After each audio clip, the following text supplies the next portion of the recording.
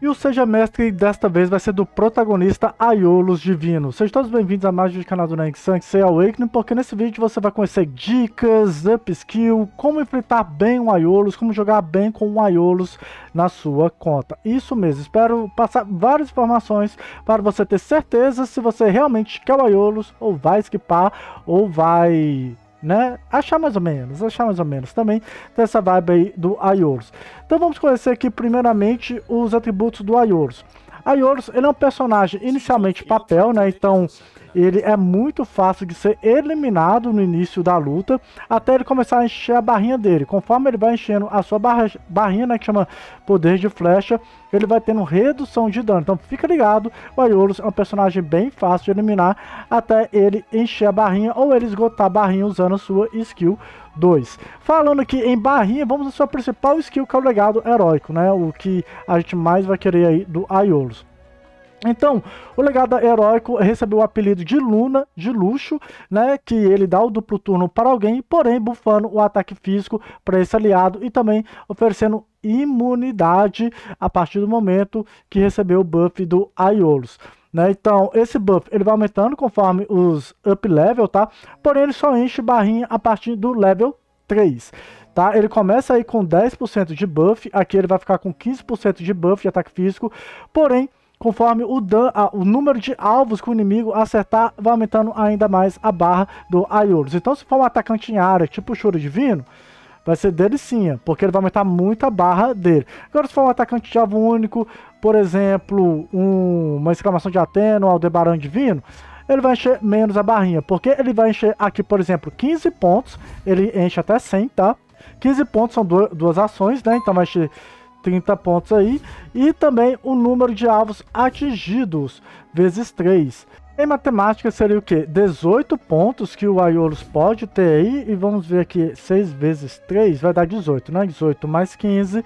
Ele poderia receber até 66 pontos na primeira rodada, né? E lembrando que ele consegue aumentar ainda para 20 pontos, porém somente no level 5. Então ele aumentaria aí mais 10, totalizando aí 43 pontos de flecha que ele terá. E seria isso. Essa skill eu recomendo no mínimo nível 3 para que você coloque o Aiolos com uma sobrevivência maior. Mas como duplo turno apenas, até level 1, galera. Mas o Aiolos aqui, para ficar baratinho, 3 livrinhos só, ele vai custar aqui para você somente 3. Então no nível 3 já é uma skill que fica bem interessante, tá certo?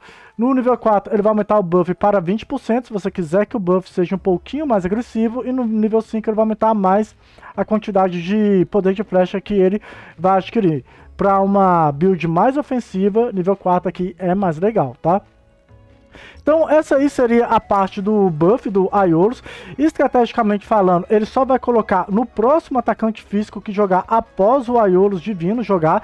Então tem esse lance de você organizar sua fila de atacantes físicos para jogar com Aiolos. Ah, eu estou jogando com o Shura Divino, o Doku e o Aiolos. Porém, na ordem tá Aiolos, Doku e Shura. O Aiolos vai ficar bufando o Doku. O que, que você vai ter que fazer nessa situação? Alterar a speed ou passar o Shura para frente do, do Doku, beleza? Ou você pode passar o Doku para frente do Aiolos. Aí fica Doku, Aiolos e o Shura. Quem que você quer bufar, jogue depois do Aiolos. Aí você vai ter que alterar a fila. Isso é uma coisa chata? É uma coisa chata, mas você vai ter que ter esse empecilho aí para que o Aiolos jogue bem, tá certo? Pulando aqui para a sua skill 4, o Lealdade Imortal. Também é uma outra skill que eu acho bastante interessante de upar. O que, que acontece com essa lealdade? A lealdade de Aeolus é imutável. A cada rodada ele recebe imunidade à primeira instância de efeito de controle que for lançado nele. Isso daqui é somente 100% no nível 3.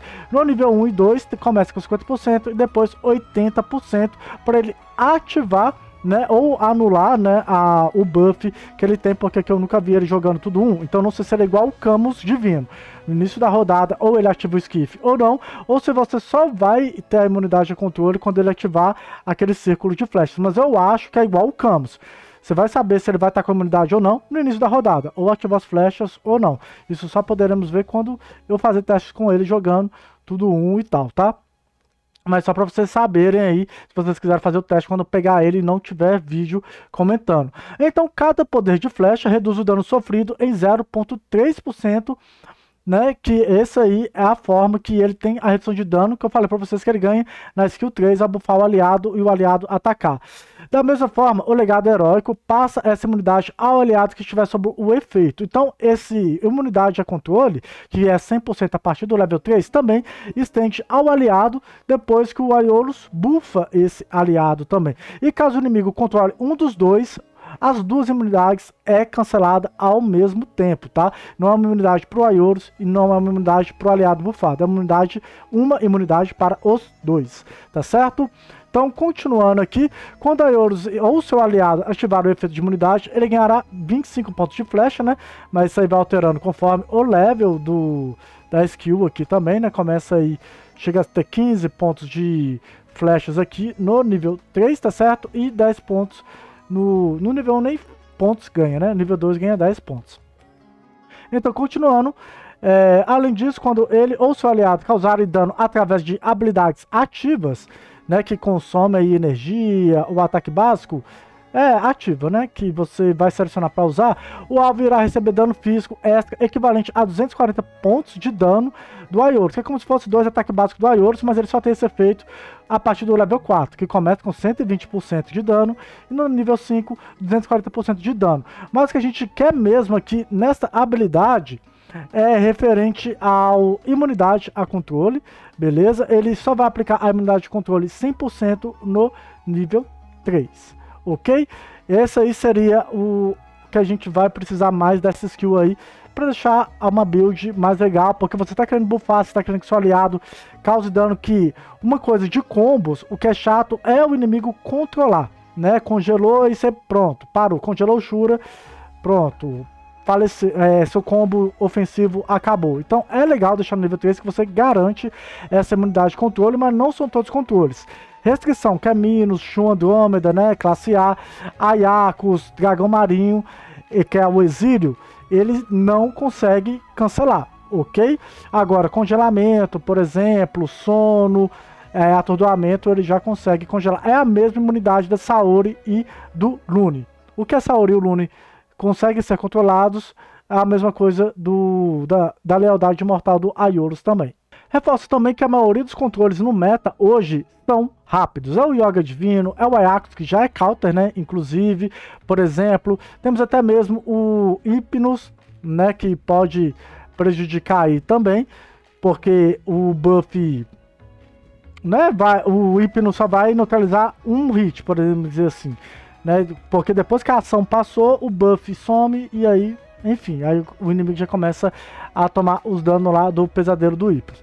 Mas o que que acontece? Hoje a maioria do, dos controles são rápidos, então dá para neutralizar no meta atual mais fácil isso daqui. Antes com a Iolus buff o aliado, né, você pode controlar aquele aliado. Por exemplo, você está com o Yoga Divino, por exemplo, e está mais rápido que o Aiolus e você quer lá controlar o Shura ou o Oneiros do inimigo você pode fazer, o Aioros vai ser cauterado aqui também. Então já fica uma dica aí para você jogar bem contra o Aiolos ou você esconde esse aliado porque ele vai ser cauterado com controle mais rápido, tá? Se você jogar antes do controle do inimigo.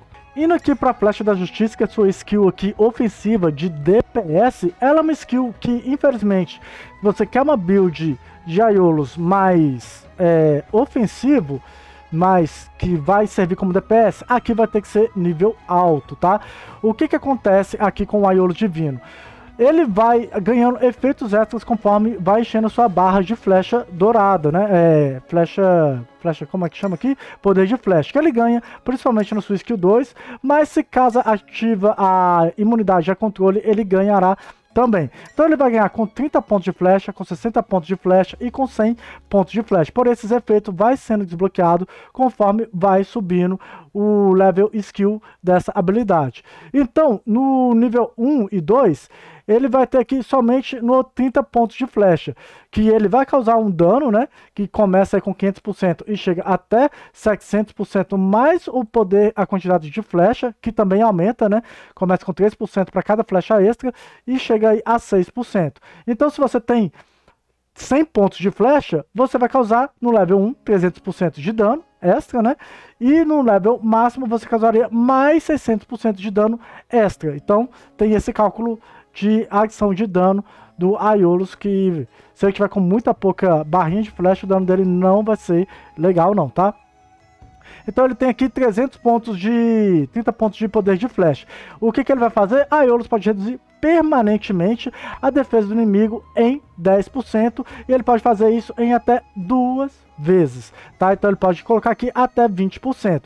No nível máximo, a redução de defesa também vai aumentar, né? Ele chega a diminuir a defesa do inimigo em até 15%, ou seja, ele atacou duas vezes o mesmo inimigo, vai reduzir 30 pontos de defesa do inimigo dupla permanente no resto da luta. No nível 2 ele vai ganhar aqui o poder de gastar com 60 pontos de flecha. O que, que ele vai fazer aqui? Ele vai ganhar 30 pontos de 30% né, de roubo de vida no, na skill com 30 flecha e ainda vai ganhar um efeito adicional de ignorar escudo e invisibilidade do inimigo com 60 pontos de flecha. Então o inimigo tentou esconder do Aiolos, você já consegue selecionar ele como se fosse uma exclamação de Atena com Milo, por exemplo, né?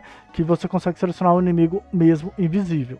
Porém, no nível 4, ele vai, né, pulando aí o nível 3, que só bufa aí o, o 30 pontos e os 60 pontos, ele vai desbloquear os 100 pontos no nível 4. Além de bufar, né, o de 30 e 60 pontos, o de 100 pontos, o que, que ele vai fazer? Ele vai reduzir o custo dessa, dessa habilidade, né, de 3 para 2, quando ele tiver com a barrinha aí toda cheia e ele também poderá eliminar automaticamente alvos com 20% da vida ou menos, mais ou menos é a vibe lá da Atena, porém a Atena é 100%, né?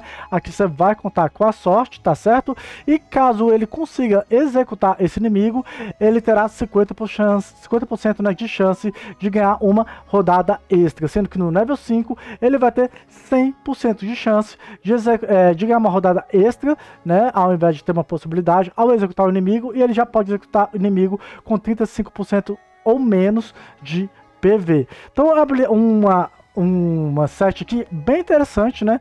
Do Aiolos, principalmente aqui no nível 5, porque ele já aumenta aquele leque de execução do inimigo, fazendo com que você pode até mesmo, igual eu, usar a build dele de, DP, é, de suporte, tá certo? Não focar nele em dano, e assim, você, toda vez que o inimigo tiver com 35% ou menos de PV, você vai lá, executa, ganha uma rodada extra e bufa. Essa aí é a temática do Ayorus executar os inimigos que tenham menos de 35% de PV do inimigo. Eu acho fantástico aqui o Ayorus no nível 5, mas já dá para você começar a brincar com essa habilidade aqui no nível 3 para tentar dar um dano, ou você pode deixar mesmo no nível 1 e usar apenas o suporte, deixando uma build bem barata, 1133, tá certo? Falando agora de upskill, você vai gastar 6 livros, uma build aí para fechar pelo menos uma restituição legal, 1333, Vai ficar mais ou menos essa habilidade, poderá eliminar inimigos aí, né, com... Sei lá, né, ele não executa aqui. E uma segunda sugestão seria o essa aqui, 1533, você vai gastar 16 livros. Aqui vai ter um livro e meio de restituição, né? Usando essa build, que talvez seja essa que eu vou fazer. Ou 1333, só para pegar restituição, ou 1133, ou 1533. Ah, mas gostaria de deixar aqui no nível 4, ele já executa e tal. Assim, né, ele vai ter, porque eu acho que é muito mais importante pro Aiolus bufar do que executar. Imagina você tenta executar alguém ou eliminar alguém, e aí você vai lá dar um duplo turno pro Shura, só que aí você não vai ganhar a roda da extra, e aí o Shura não vai ter duas ações que poderia eliminar muito, muito mais inimigos. Pode acontecer disso aqui for bem sucedido. Ah, era muito importante você executar aquele inimigo naquele momento ao invés de bufar? Pode ser, mas eu acho que na maioria das situações vai ser mais interessante você ter certeza que você vai executar e ainda vai bufar o inimigo, tá certo? E referente ao ataque básico, o ataque básico ele é interessante, mas se você for jogar mesmo com Sasha. Não vale tanta pena assim, ele só usa ataque básico e ganha pontos de flecha, que vai aumentar aí a quantidade de redução de dano dele, né? Isso aí é muito importante. E facilitar com que ele fica com 100% de poder de flecha para começar a executar os inimigos também. É legal, principalmente com Sasha, né? E seria isso. Não, não, ah, combo de Shun MM de Artemis? Não, não rola. Não rola dar duplo ataque básico com ele. É mais importante dar o buff para o aliado. A Ioris não vai usar ataque básico se não for silenciado ou não tiver energia, né? Para usar. Então por isso que você só usaria mesmo com Sasha, né? Então eu esquiparia fácil aqui ao ataque básico dele, para nossa alegria, para economizar livros azuis também. Referente à build do Aiolos, ele vai ter a build tanto de DPS quanto de suporte, tá? Se você quiser a build DPS, é focar em ataque físico, perfuração, né? Então temos aí o Baroque e o Galho, né? Como as melhores opções. Se você quiser focar em suporte, é só colocar coisas que dão aí resistência a dano, né? Defesa, PV, para melhorar ainda mais a sobrevivência do Aiolos. Speed é um caso à parte, como eu disse lá no exemplo do Doco Aiolos e também do Shura Divino, você vai ter que sincronizar speed com alguém. O ideal é sempre que você jogue rápido, mas você vai ter que alterar speed conforme tá aí a, a possibilidade de você buffar corretamente o personagem da sua equipe. Então a speed é conforme a sintonia aí do Aiolos com o outro personagem que será buffado, beleza? É, Lunar também é a mesma vibe, você vai focar aqui em sobre atributos de ataque, físico, né, de crítico, é muito importante ele dar crítico para ele tentar dar um hit kill também, principalmente quando ele tá lá com as suas flechas toda com 100 pontos de poder de flecha. E speed também você vai sincronizar. Então é isso. Né? Se você quiser uma build aí que não foca tanto em speed, temos aí a pressão espiritual, a cruz e builds mais focadas em speed. Temos aí a folha de jade, por exemplo, e a borboleta onírica. Estrela, temos a Pérola de Naga, mais focada aí em dano. Temos também aqui o a Gardenia, né, mais focada aí em speed. Lua Nova, se você quiser fazer muita speed, né? Então temos aí essas variações e frutos da Discord também quando é somente suporte, você não quer saber dele de dano, frutos aqui é bem da hora. Também referente a lendário, eu acho mais interessante aqui para ele um corrente de efesto, para build de DPS, tá? Principalmente. E no caso é isso. Eu não acho Céu e Terra bacana, porque você não vai ficar bufando com ele, né? Então, por exemplo, só bufou na roda da 1, ele não recebeu bônus de Céu e Terra. Por isso que eu acho que corrente de festa é mais da hora. O inimigo tá com muito PV. Você vai mais 70%, você vai conseguir causar um grande dano nele.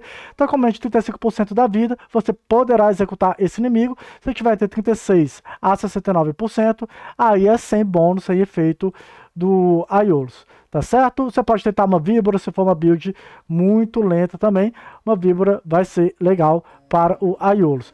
Tirando isso, você pode colocar de sobrevivência dente de dragão, fúcsia, se ele for lento, se ele for rápido dá para colocar uma maçã dourada também. Então tem várias coisas aí, até fada do pântano, é, mandala, se você quiser mais speed nele, Iris, se você quiser a build de speed dele. Então tem várias coisas aí para suporte para você utilizar no seu Aioros. Então, Aioros é um personagem que você pode escolher como suporte ou como é, suporte ou DPS. Referente à interação de alguns personagens, eu coloquei aqui um dos principais buffers que ele pode colocar. Vou colocar counters aqui também para vocês, mas dando uma pausa aqui no vídeo só para pedir aquela moral, né, com o seu like, a sua inscrição se você é novo por aqui, né? deixar aí você muito mais experiente com o Aiolos, né, nesse vídeo. Então espero ter ajudado de alguma forma. Você pode ajudar deixando seu like, o seu comentário e também a sua inscrição. Né? Dado o recadinho de sempre, vamos lá. Exclamação de Atena, muito bom, né? Principalmente você tem exclamação de Atena com a segunda skill aqui bem upada, dá duplo milo, é muito AP. Você já pode executar o inimigo muito. Dois inimigos, né? Com um ciclo de energia aí muito fácil. Importante, é, banir o MM nessa estratégia aqui também. Temos o Aldebaran Divino, dá para você tirar a alma do inimigo toda vez, ataque básico e arrancar a alma do inimigo, ataque básico e arrancar a alma do inimigo também. Temos o Oneiros que consegue inclusive já ficar transformado né, no Megazord na roda da 1, graças ao Aiolo com 5 de energia, né, um do Aiolos mais 4 do Oneiros, você já consegue dar o ataque em área, caso você consiga fazer o Oneiros dar o, o ataque né, a passivo ou inimigo ativa aí o contra-ataque do Aioros, acertando o Shuryu Divino, tomando um ataque em área do Thanatos, ou usando combinho de June. Então tem algumas estratégias aí para você forçar o contra-ataque do Oneiros também.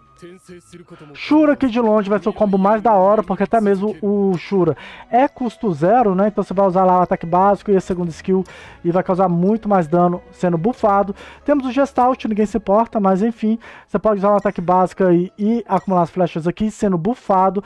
O Gestalt também você pode usar dois skills aqui do Gestalt. Lembrando também que se o Aiolos estiver muito na frente, as flechas do Gestalt atacando passivamente poderão também acertar o inimigo com o bônus de dano, só que aqui, né, hip combo com Defteros, né? Porque o Gestalt tem que jogar no final da fila da mesma forma que o Afrodite, tá certo?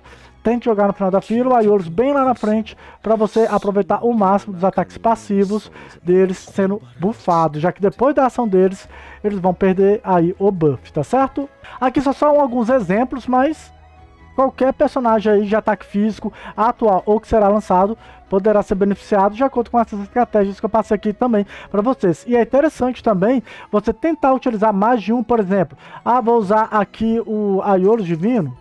Ah, deixa eu mostrar aqui para vocês o, o Aiolo Divino aqui nessa build. Ah, eu tô usando aqui o Aiolo Divino com exclamação. Ah, mas a exclamação faleceu, mas eu tenho um Aldeba que joga depois. Eu ainda continuarei dando duplo turno pro Aldeba Divino, né? Então se você joga aí com uma build do Aldeba Divino bem lentinha, então é interessante deixar um Shura na frente, deixar a exclamação na frente, para que caso algum desses dois faleçam, você ainda continue utilizando o buff do Aiolos. Ah, eu tô usando Aiolos, Shura e Afrodite, Aiolos, Shura e o nosso amigo Gestalt. Você pode utilizar isso daqui também. Ah, Aiolos, Shura e Oneiros. Deixa o Shura na frente, né, que é mais legal. O Shura a maioria das vezes. Ah, o Shura faleceu? Depois eu posso continuar dando aí dois ataques em área com o Oneiros. É muito interessante você usar dois, pelo menos, atacantes físicos, né, na build para que o Aiolos buffe, mas você não vai colocar, tipo assim, Aiolos aqui e um outro, tipo assim, um, sei lá, um Xion, né, e aí, tipo assim, o Shura tá na frente, né, que senão ele bufaria aqui, é, nessa situação aqui, ele bufaria o Xion, teria que jogar depois, né, o Shura e o Oneiro jogar na frente. Ah, coloquei aqui o Shura, o Shura faleceu, ah, vai dar duplo turno pro Xion, é um duplo turno, paia, né, mas é um duplo turno. Então tem que ficar ligado nessa sinergia aí de duplo turno e de combos que o Aiolus pode oferecer. Não tente utilizar um combo, mas vai ter combos, né, igual é o da China, que eu já trouxe o vídeo do Jamiel, que só usa um atacante físico, que é o Shura, e aí se o Shura for controlado, falecer, tipo, o combo acaba, né?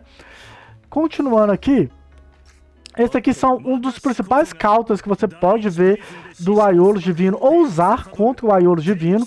Então o Ajax consegue exilar o inimigo mesmo ele tendo a imunidade do Aiolos, tá certo? A mesma forma que o Minos, né, consegue aí também, o Minos normalmente é mais lento, mas se o Minos jogar na frente do aliado bufado do, do inimigo, né, ele jogar na frente do inimigo, você pode usar o Minos para controlar. O Sexapuro, que é muito utilizado como desacelerador, pode tirar o sincronismo do Aiolos. Ah, o Aiolos está sincronizado com o Shura. Mas aí eu dei o debuff no Aiolos, mas não foi no Shura. O Aiolos ficou depois do Shura.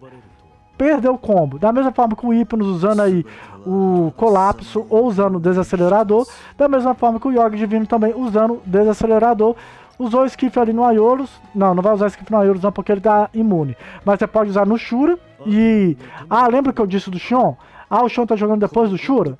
Aí o Aiolos começa a bufar o Shura, por exemplo, né? Porque o Yoga Divino alterou a fila. Então tem que tomar bastante cuidado contra esses personagens que alteram a fila com algum debuff de desaceleração. Tem o Death Tool também, que altera aí a speed dos inimigos, por exemplo, né? Então tem que ficar ligado aí com o Cosmo Desacelerador ou com inimigos que desaceleram e com inimigos que têm exílio e também tem o restrição, que é o Minos, o Ajax, por exemplo. Então, Ney, como é jogar com o Aiolo Divino? Para vocês que ainda não entenderam a mecânica, porque acho que ele é ainda muito flop, ele não é um personagem ruim, tá? Ele é um personagem só que encaixa em poucas builds, principalmente com o Choro Divino, que é o melhor combo. O maior problema do Aiolos é por ele encaixar em poucas builds, mas ele é um personagem bem interessante. Se ele buffasse qualquer personagem, com certeza estaria lotado de de Aiolo Divino no PVP. Mas ele tem essa limitação para atacantes físicos, tá certo? Senão eu poderia usar aí com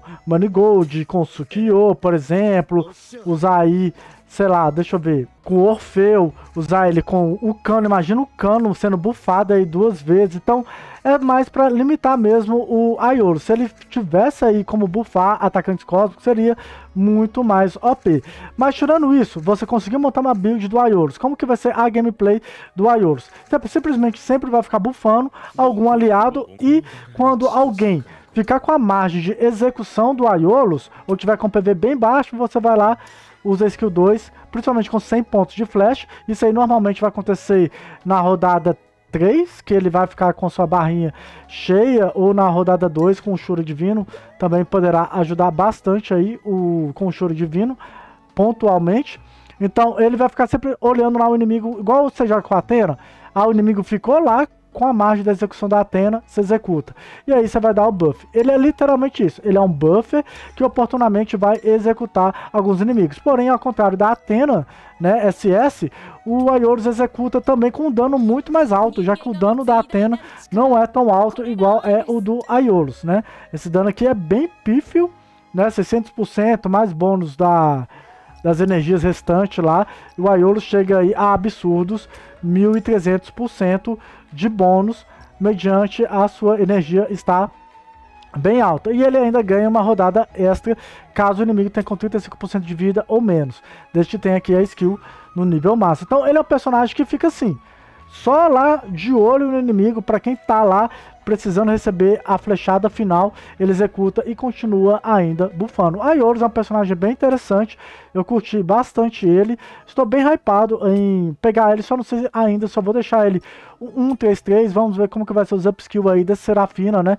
Deve lançar ela ainda essa semana no servidor de teste, mas até lançar a Serafina no servidor...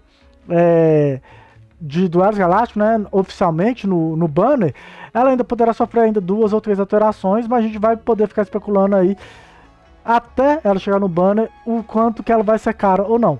Mas a versão final da Serafina vai chegar depois da, do lançamento do Aioros, infelizmente, né? Caso ele tenha saído aí essa semana no banner, beleza? Então, para fechar o vídeo, que teve muita teoria aqui, né, para vocês, eu vou deixar indicado nos cards o vídeo que eu mostro o Aiolos mitando, uma das melhores rodadas 1 de, disputando aí com Artemis, né, com a build de brilho, vai ser com Aiolos Divino hoje no meta, né? Você acha que é muito perigosa a build da Artemis com brilho?